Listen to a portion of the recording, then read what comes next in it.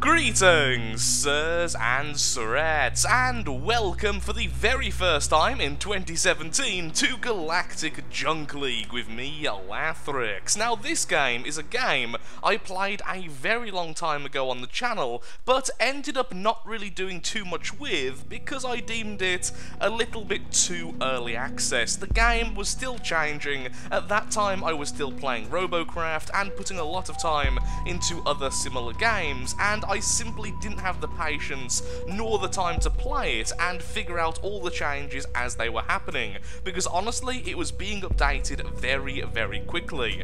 Well, now the game is finally available on Steam, I thought I would have a quick look-see at the game, see how the new player experience actually pans out, and see if it's a game I want to continue on the channel. So the basic premise of Galactic Junk League is that you are a junker. You are here to build your ship, go out into the wastelands and claim it for your own along with your team. It is a team-based arena battling game in a similar vein to things like Robocraft and the upcoming title Drone. You build your ship out of components which take up CPU and build the ship of your dreams. Now as you level up, you will get access to different types of ships which have different base stats and I'm thinking may have access to other, if I go into the block area, to other abilities. At the moment, because I'm only level 3, all I have access to is the rookie ship, which is a balanced yet fairly weak, nothing special ship, which everyone gets at the start. I have just now unlocked a brand new weapon in the form of the Gatling gun, and I already have a rocket launcher and a phaser, all pretty weak weapons for the lovely starter vehicle, but thankfully not too much CPU and fairly easy to place. You don't have to actually purchase the items each time you place them, but you do have to research them when you unlock them. The research becomes available as you level up. So this game is currently free, However, there is of course microtransactions in the game, I said that very weirdly, but I'm sticking to it, in which you can purchase this stuff here, space credits, in which you can get things like premium, or purchase things like, if you go to the shop, I believe the skins, no, the skins are actually the regular currency, which you get from playing the game, so actually pretty much everything you can get by just playing the game, this is just a helpful thing until I find otherwise. So, Premium gives you more experience and more stuff from battles, and apparently you can go ahead and purchase the bundles. Ooh, Pirate Skin Bundle. Now that's something I haven't seen. Can you buy the pirate skin normally? Yes you can, and that looks awesome. Ah, so that does require the premium currency, but of course it's only a skin, it's not actually going to help you out, it just looks really cool. So with all that out the way, I'm going to build a brand new ship, a brand new rookie ship, and we're going to get into a few fights. This intro took way, way too long. I have so far played two matches after coming back in 2017, and one thing I noticed is it seems like I was going up against a lot of other rookie ships, so I'm assuming there is some kind of matchmaking in the game, and if there isn't, then it seems like a lot of people are only now getting into the game because of the jump to Steam, so it's not too much of an issue, we're probably not going to be too outclassed, and I'm hoping there is some form of way of ensuring I'm not going to be against all of these specialised ships straight away. So, I am going to build this particular vehicle all around using the Gatling guns, because the Gatling guns just seem way, way cooler. And they are longer range than the other weapons. Since I have only came up against rookies so far, that means having this gun means we have the range advantage over the other rookies. So, Let's put one there, and let's continue building, although actually, that's a bit too far forwards. This is our core, and if the core gets destroyed, you lose the game. You simply die. Well, you don't lose the game, you respawn, I believe it's the first to 20. Currently, there's only a team deathmatch mode available. I think I'm going to do is build somewhat like a Stingray or a Manta Ray, have a large front section here, and then have the guns on top, possibly on the bottom, and then have the thrusters on the smooth side of that, and then a few thrusters on the back. We also need our single ability, which is the Overload, which takes AP, not CPU, thankfully. And I would very much like a lot of gyroscopes because this helps with turning. So, let's get back to our very, very basic building. A small change of plan. I no longer want the back to be quite as thin as I was going to build it, because that is just screaming to be destroyed. And that would be very, very bad, considering that's where our core is. So instead, we're going to do this. Now, I Oh, I was about to say I don't think there's a mirror mode. There actually is. That was not in existence the last time I played. Well, that's fantastic. Really happy I figured that out nice and quickly. So something like that, and then if we go into this slot, we can add some of our movement parts, like so. Yeah, that's looking okay. It's not looking the best in the world, but for a pretty rushed build, it's also not terrible.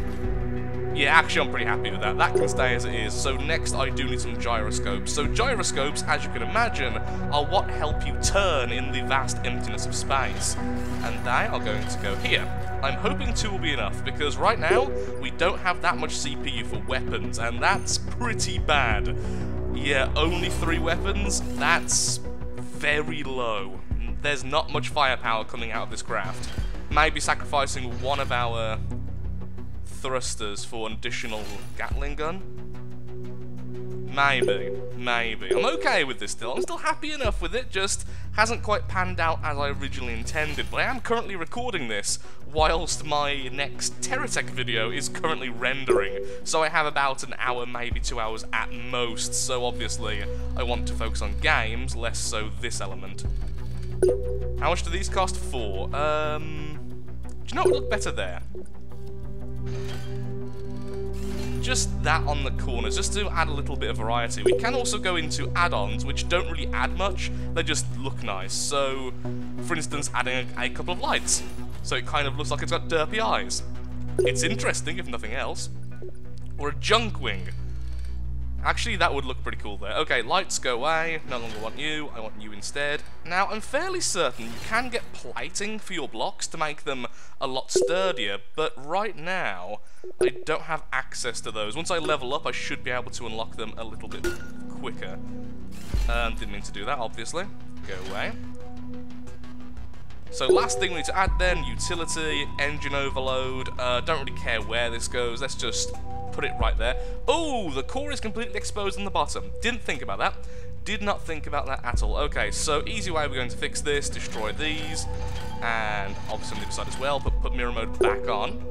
Construction, hull prism. Yeah, this thing's going to be really slow. It's going to be slow and tough to turn. But I'm hoping it'll be protected enough at least if we're being attacked from the front. Uh, this is just a noob doing noobish building. That really is, is, is exactly what's going on here.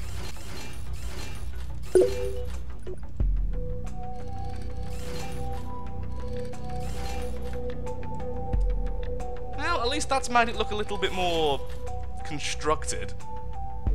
I do want more CPU. I believe you get more CPU as you level up, so that's something we'll just have to get in time. Okay, let's just quickly take this into the practice mode. Now, I do have access to some keys which have been given to me by the developer in order to get um, more CPU, more levels, more currency and all that as part of the press kit because I'm a YouTuber, yay, but I've decided not to use that at least for now as I want to see the leveling process. So this is my turning speed. Oh boy, that is slow. Oh, boy am I slow.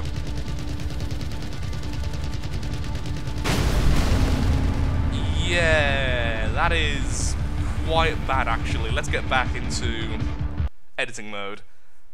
Don't think that's going to be good enough, so I'm going to have a quick think about how to alter this, and I'll be right back. Also, really should do some spray painting. How do I even change the colours? Aha! Oh cool, we have all of them unlocked. Is there a way to spray everything at once, or, or am I going to have to do this manually? Oh, I can't spray the regular junk blocks. That's a shame. Okay, so one change I am going to make is I'm going to put two of the weapons on the bottom. We've also painted them blue, because blue is pretty. But this way, if enemies are underneath us, we can still attack with two of our guns. If enemies are above us, we can still attack with two of our guns. Not the best in terms of being able to fire all weapons at once, because we're going to need them to be essentially right in front of us, but I feel like that would be the best bet so we can't be outmaneuvered that easily. Unless we want to stay on the bottom of the map, which actually fits our build style at the moment. Maybe.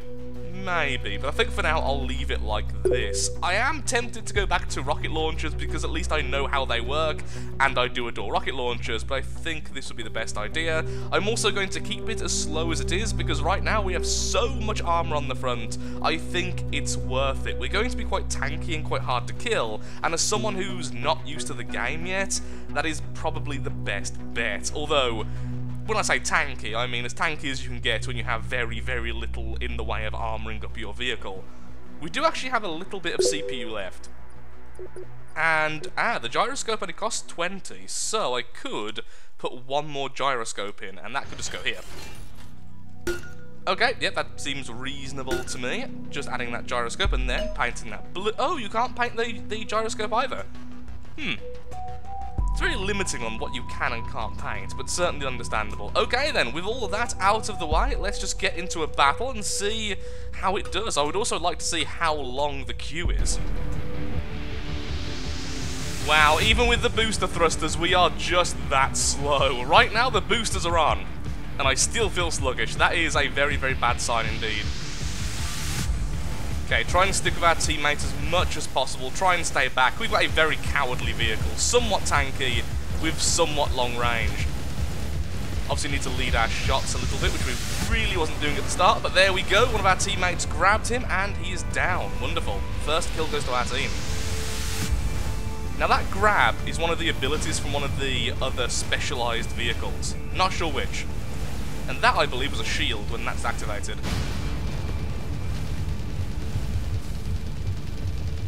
Okay, hitting most of the shots there. Oh, we're out of range. Okay, helped it up. Okay, that's the guy who had loads of firepower. Let's go for his guns if we can. Now we're out of range. We did a little bit of damage to him, certainly more than he did to us. Enemy below us, and we are doing very little. He's got his shields currently on, and he's got the larger missiles, which I currently haven't unlocked. This is my death. Definitely. Yeah, I think we should have built more like this guy. This guy knows what he's doing because the amount of burst potential with those guns is very high. He's also likely much more agile than us, spending less CPU on just useless blocks. We have certainly learnt our lesson, and I will be rebuilding this vehicle, probably from scratch, after this battle. It doesn't help as well, I haven't been on, on this map before, there's a load of new maps which I haven't explored, so I have no idea where I'm really meant to go. I'm just sort of meandering through the map, hoping for the best.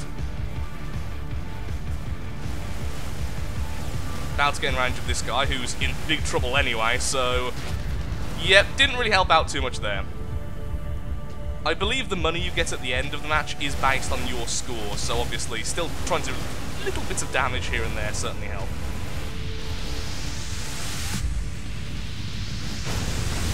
Give me that shield. So that is the diamond shape. Yeah, yeah, first kill. This is the... No, don't kill me. I was just saying how good you were. Oh. Oh, look at our core! a few more seconds. What I should have been doing is spinning then, I suppose, to minimise the amount of damage he's doing to one place. There goes one of his guns, there goes the other. His core is now vulnerable. He's doing something, I have no idea what that is. Okay, enemy above us. Oh, enemy there as well. Let's try and go for his last gun if we can. There it goes. Um, have you been completely nullified? On such high health, but yeah, okay. Definitely prefer this gun to the missiles, although the missiles are kind of fire and forget, which is very good for someone who's just focusing on controlling the ship at the moment, because I have no idea how to do anything right now. Um, it, it's more satisfying to use this weapon, let's just say that. Go for his guns as much as possible. No, not the armor plate. I'm being hit by something else. Uh, is it you? Yes, you've got the close range weapons. They get stronger the closer they get. Okay, we've taken out one of his guns. We've also revealed his core. At least I do feel better protected in comparison to a lot of these vehicles. I would self-destruct, but again, I don't know if that actually gives points to the enemy team, and since it's quite a close battle at the moment, I don't want to test that out right now. Is that shield completely null damage, or is it just a reduction? It looks like a reduction to me. Ow, ow. Killing spree. Okay, that's going to come to a swift end. Yes, indeed it is. Not too bad. Actually, our vehicle's doing okay. Being so tanky in comparison to some of the enemies we're facing is actually not doing too terribly. Not good. I want to stress that. It's not good. But it's not terrible either. One more kill and we have won the match. That guy up there is low health, so let's try and guarantee the kill. We got fourth place on our team. Not too bad at all. And by the looks of things, we're kind of halfway if we compare both teams together. Awesome. Not a bad first fight for the day, if I do say so myself. So, we are now level 5. So let's see if we've got an increase in our CPU. The audio has also gone really quiet for some reason. Oh, hello. Generator overload. And the tactical jump. We also reached level 5. Which gives us... Ah, excellent, the armor plate. That's what I wanted to see. Yes, so we do now have more CPU to play with. We could either add a new gun, add a new thruster, or start armor plating. Although I do need to research stuff. Um, armors, yeah. Oh no, I want all these things. Tactical jump allows the ship to hyper jump for a short distance. Increases energy re regeneration. Well, right now we don't need that. Simple as that. We also don't have access to the generators yet, which is kind of sad. Which is just gives you more energy. I believe it's it's either give you more energy over time or increase your maximum energy. I think there might be an option for both. I think I'm going to unlock the armors, just because I do like the basic speed buff. Um, although the teleport is good, but for now, just unlock armors, that's definitely going to come in useful, and maybe just stick with this ship for now, because I can't be bothered to rebuild again. And let's just add a new gun. Let's add one more gun so we've got a little bit more burst potential. Now, I don't think you can mix guns. Remove that. No, you can't. Okay. So one more Gatling gun there. Uh, we have a little bit of spare CPU, so we could add ourselves a gyroscope, um, help our turning. Turning wasn't really the issue, it was just basic speed, but at the same time that wouldn't be a terrible idea. And we could, we could go down the route of armor. Um, armor plates, let's see their health and such. Ahem. 96 HP. Oh wow, yeah, those are... Yeah, I would really want this. Also, look at that. Oh, cool, so you can actually get basic blocks as well, which are armoured. Steel bridge. Ooh. Ooh, that's pretty and would totally fit here. Like that. Oh, that looks nice. And I'm guessing they're also heavier. Uh, mass for, for, let's say, the pyramid is 8. Regular pyramid is 3.2. Okay, so there is a fair bit to do still. Either way, let's just add a little bit of armor to the front. Why not? It'll look nice although it will slow us down even further. But look at that, it looks perfect. And now it's blue. I said now it's blue.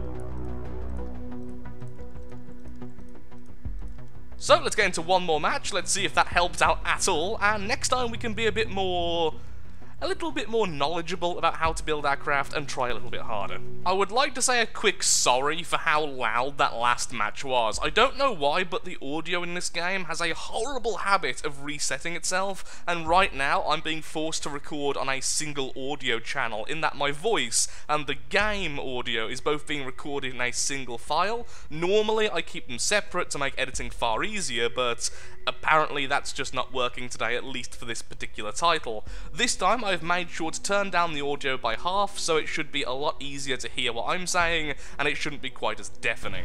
And into the fight we go. This time I have turned down the audio. I do apologise for the last game being a little bit loud, and the music even in the build mode being a little bit loud. Sadly, I am being forced to record on a single audio channel for this video, so it didn't really work out all that well. Because like I was saying, I am rendering other videos in the background, which takes a lot of CPU, and recording a video and having different audio channels seems to be a bit more intensive. Okay, so that's one of the smaller, faster craft. Need to be very cautious about that, and that's why. No idea what the circle is, honestly. Oh, down goes one of our craft. First blood to the enemy team. Oh, come on. Thank you. Finally, we can do something. Face the wrath of our single extra gun. Okay, didn't quite kill it, but we did do brutal damage to it. With you, I'm aiming at the back there. I was hoping that his core would be exposed. Sadly, didn't quite happen. His gun's at the front there, so let's try and focus on that. There's the core. The core is now fully exposed. Let's go for that instead. Okay. That's all I wanted to see.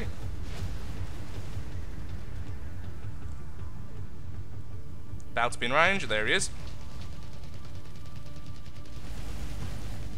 Oh, he's doing something. I have no idea what that ability is. Uh, probably some sort of power thing, I'm assuming. Okay, kill assist. I think adding the extra gun was definitely the right idea.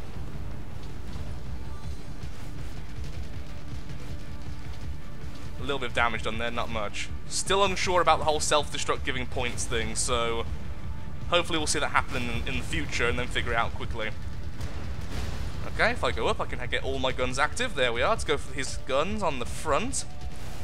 Okay, long-range weapon coming from that guy there with the shield, which, again, I think is the battleship. Let's get out of here. We're going to be sniped if we just stay out in the open. Ow.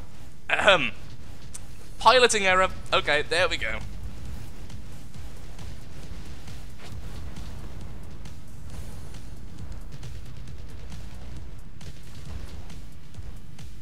He's about to come in range, but it'll be a little while. Oh no, he's going very, very fast towards us.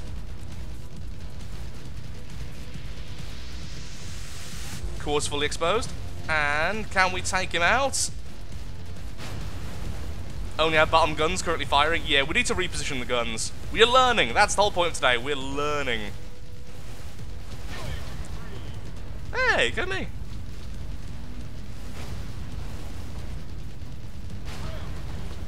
Beautiful. Yeah, I, I just want more guns. Okay, bad, bad, bad. He had his shield active at the start there, so a lot of our damage was nulled. However, I believe he's so damaged, he also wants to run away. We have lost our special ability. We're too damaged. Oh no, we haven't. We've lost all of our gyroscopes. We, ca we can't turn right now. Took out one of his missile launchers there. The core is almost exposed on him as well. We, okay, we're being sniped, we're being everything, we're dead. It's going to be close, but I think we're going to lose this. We're about to lose another point. What is that gun he has? It's awesome. It's similar to ours, but it shoots faster, unless he just has more of them. But I think he's the frigate? I don't know. I don't even know. I'll figure out when I make one on my own and look at the symbols. Or just, you know, look up the symbols. That might help as well.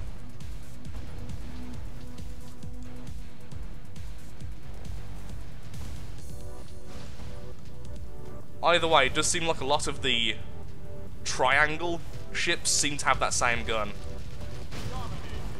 Awesome.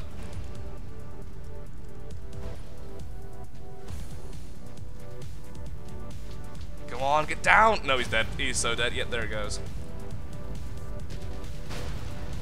And down goes he in revenge. Oh, it's going to be so close. 15 to 16 right now, sadly in their favour. That cross needs to die. He's doing way too much damage. Doing a bit of a aggressive thing here. I just want to take him out. There he goes. Probably not worth it. Being hit now at long range by that guy. Yep, that's some kind of sniper weapon. I believe it's a cannon. I think I remember that gun from before. I I think I loved it. If I recall correctly, I think I was using it and I really enjoyed using it, so... Hopefully in the future I'll get that again. Just try and core him out. There we are.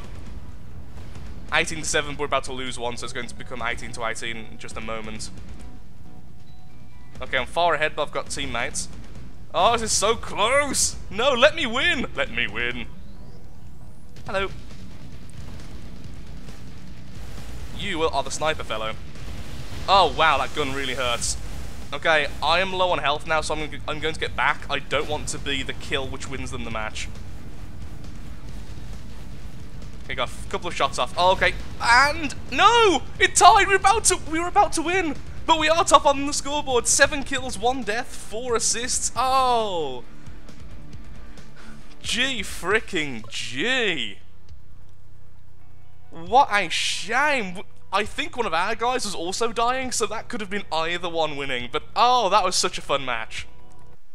Really happy with that. Also, really like those guns. So, did we just get to level 6? Yes, did. Okay, so what do we get from level 6?